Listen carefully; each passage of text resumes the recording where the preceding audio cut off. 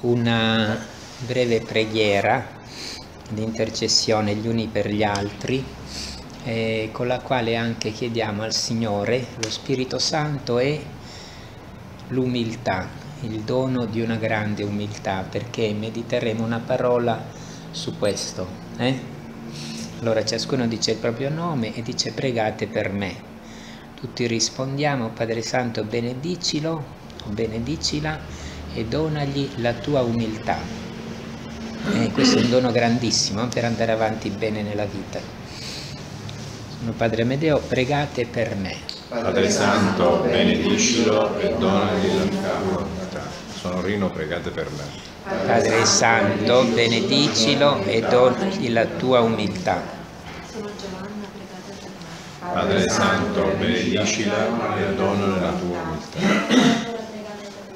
Padre Santo, benedicila e donale la tua umiltà. Andiamo adagio, eh? Sono Mariella, pregate per me. Padre Santo, benedicila e donale la tua umiltà. Sono Ennio, pregate per me. Padre Santo, benedicilo e donagli la tua umiltà. Sono Roberto, pregate per me. Padre Santo, benedicilo e donagli la tua umiltà. Sono Sofia, pregate per me. Padre Santo, benedicila e donagli la tua umiltà. Sono Franco, me. Padre Santo, benedicilo e donagli la tua umiltà. Sono Paola, pregate per me. Padre Santo, benedicila e donagli la tua umiltà. Io, io che devo dire? Mi Mi, mi chiamo Mari- Rosanna, Rosanna, pregate per me. pregate per me. Padre Santo, benedicila e donagli la tua. Gloria al Padre, al Figlio e allo Spirito Santo. Come era nel principio, ora e sempre, nei secoli dei secoli. Amen. Ecco, meditiamo una parola dal Vangelo di oggi, Luca 18, in cui si racconta la parabola del pubblicano e del fariseo che vanno al Tempio. Abbiamo l'esempio del pubblicano che Gesù addita a noi, che si presenta al Signore come peccatore e lo implora così, Signore abbi pietà di me peccatore. Signore, abbia pietà di me, peccatore. Ecco, quando,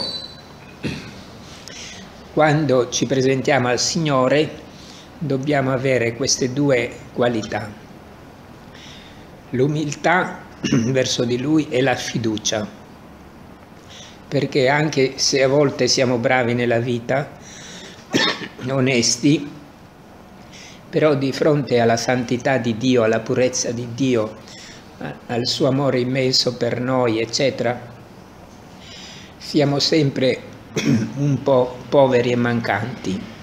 Ecco, quindi l'atteggiamento giusto davanti a Dio è questa umiltà, questa umiltà, anche se appunto facciamo delle cose buone e non facciamo tanti peccati gravi, andare con l'umiltà.